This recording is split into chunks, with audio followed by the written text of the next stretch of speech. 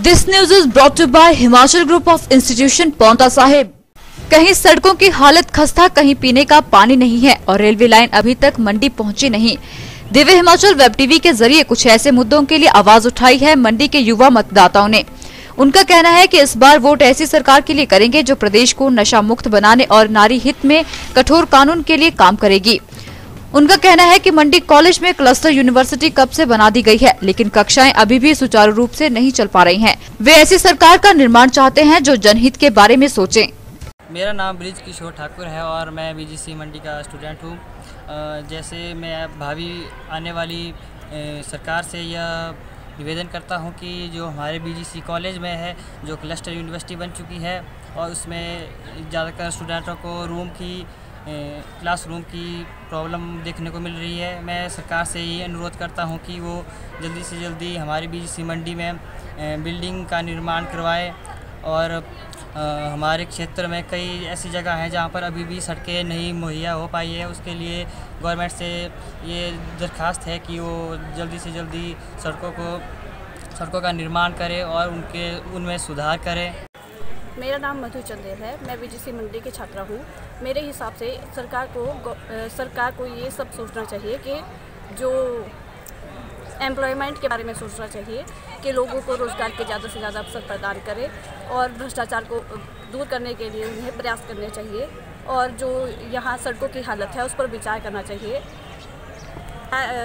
और जो नारी की सुरक्षा से रिलेटेड उन्हें कानून बनाना चाहिए। तृप्ता ठाकुर बीजीसी मंडी की छात्रा हूँ। मेरे हिसाब से ऐसी सरकार आए जो शिक्षा पर बल दे और वो भ्रष्टाचार मुक्त सरकार बने और महँगाई पर भी वो रोक लगाए और नारी शिक्षा पे भी वो बल दे। अगर संपूर्ण रूप से देखें तो ऐसी सरकार बने जो संपूर्ण विकास पर बल दे। Uh, मेरा नाम प्रतिभा ठाकुर है। मैं इस महाविद्यालय में MA political science fourth semester की छात्रा हूँ। जैसे कि आप सभी जानते हैं कि इलेक्शन होने वाले हैं और हिमाचल में यह सातों चरण में कंप्लीट होगा। तो यहाँ के स्थानीय मुद्दों की बात करूँ तो सबसे बड़ा यहाँ का जो मुद्दा रहा है, वो बेसिकली रहा है एजुकेशन सिस्टम का और दूसरा रहा है युवाओं को रोज़गार का।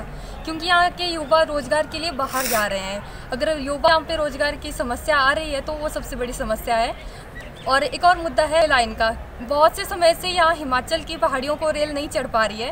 हालाँकि हमारे वर्तमान सांसद ने कुछ कार्य किया है, लेकिन उसे अभी अंजाम तक पहुँचाना बाकी है। मेरी यही आशा रहेगी इस इलेक्शन के बाद कि जो भी हमारे सांसद रहेंगे, वो इस विषय में कार्य ज़रूर करेंगे।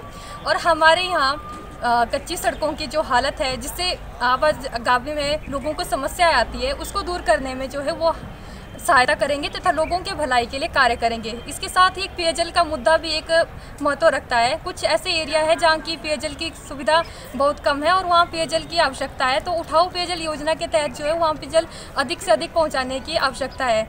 मेरे आने वाले सांसद से दरख्वास्त रहेगी कि वह इन मुद्दों के ऊपर विशेष ध्यान दें। थैंक यू अबू गोयल, मंडी महाविद्यालय बी कॉम फोर्थ सेमेस्टर की पढ़ाई कर रहा हूँ। जैसे कि आप जानते हैं लोकसभा 2019 के चुनाव बिल्कुल चरण में चले हुए हैं। हिमाचल में भी सातवें चरण में मतदान होने जा रहे हैं। जैसे कि आप जानते हैं मंडी की मैं स्थानीय मुद्दों की बात करूँ तो यहाँ युवाओं के लिए एक बहुत बड़ा मुद्दा है क्लस्टर विश्वविद्यालय। हम सरकार से मांग कर, करते हैं कि सरकार का गठन होने के बाद तुरंत इसी सत्तर से यहाँ पे क्लासेस शुरू की जाए। और स्थानीय यहाँ पे रोडों की खस्ता हालत है और जहाँ विकास हो रहा है, वहाँ रोडों की खस्ता हालत तो होगी, ये तो सभी जानते हैं। लेकिन हम यहाँ के एक मुद्दा है, रेलवे लाइन का सरकार से हमारी यही उम्मीदें हैं कि रेलवे लाइन का विस्तार आगे जल्द से जल्द होगा और फोर लाइन का कार्य भी जल्द से जल्द आरंभ होगा। दिव्य हिमाचल वेब टीवी के लिए मंडी से विप्लव सकलानी की report. Himachal group of institution का पिछले 25 वर्षों से अपनी गुणवत्तापूर्ण स्वास्थ्य शिक्षा व बेहतरीन स्वास्थ्य सेवाओं में महत्वपूर्ण योगदान रहा है। संस्थान में GNM nursing B pharma D pharma BDS MDS के साथ साथ एमएससी बायोटेक्नोलॉजी व माइक्रोबायोलॉजी की शिक्षा भी प्रदान की जा रही है। डॉक्टर गौरव गुप्ता ने बताया की निजी क्षेत्र में स्वास्थ्य शिक्षा व सेवाओं में ग्रुप बेहतरीन कार्य कर रहा है। यहाँ ऐसी नर्सिंग व फार्म केयर की शिक्षा प्राप्त कर छात्र छात्राएँ प्रदेश व पड़ोसी राज्य में अपनी सेवाएँ प्रदान कर रहे हैं। संस्थान द्वारा गुणवत्तापूर्ण शिक्षा के लिए प्रशिक्षित फैकल्टी उपलब्ध है। इसके साथ साथ संस्थान पौंता साहिब में चैरिटेबल अस्पताल भी चला रहा है। संस्थान भविष्य में भी बेहतरीन स्वास्थ्य शिक्षा पर सेवाएँ प्रदान करने के लिए कटिबद्ध है।